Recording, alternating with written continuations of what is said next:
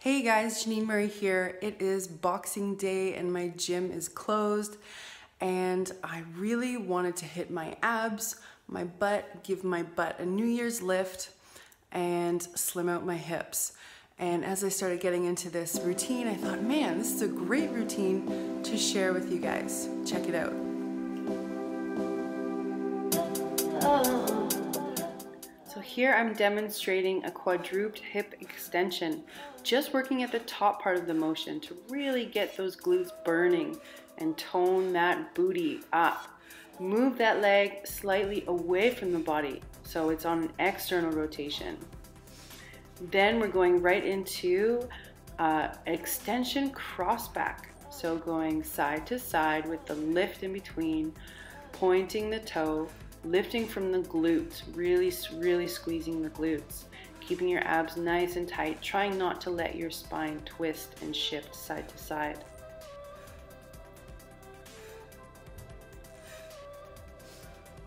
Next, this is a single leg reverse crunch with a leg extension. So extend the leg, bring the knee in, lift the hips. Moving on your exhale, this is quite challenging.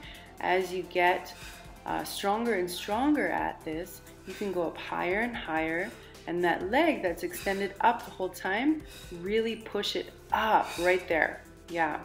And then really get the really nice strong leg extension, pushing the low back into the ground. This will really, really challenge your core and really hit um, the low abs. This is one of my favorites for hitting the lower abs and just challenging the core in such a unique, different way. So I'm switching legs here to keep it even.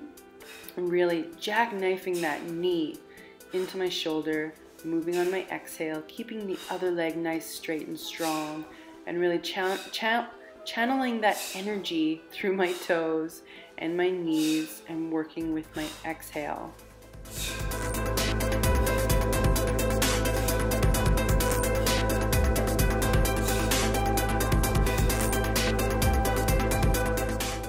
Next up, this is a double leg reverse crunch. Sweeping out to the side, lifting the hips on the reverse crunch, keeping the legs as straight as possible, using the inner thighs, and then squeezing the knees and the legs right together as the hips come up. And then we're going to reverse it here.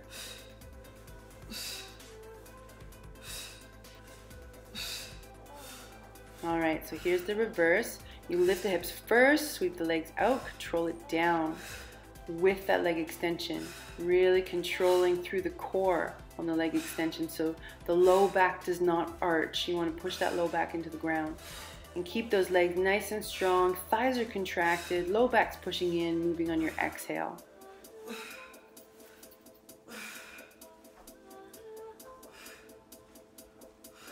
Last one is a side lying leg abduction. I'm moving my leg slightly back on an on a rotation just to really hit the glute medius, the glute minimus, which really helps to slim out the hips as well as give that booty a little bit of a lift.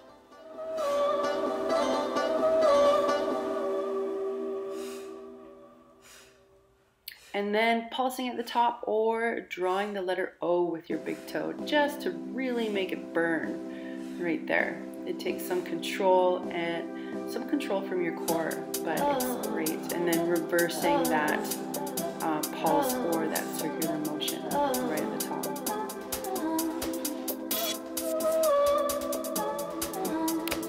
Please give me a thumbs up if you like this video and share with your friends and try out the moves and let me know how you feel and how you do.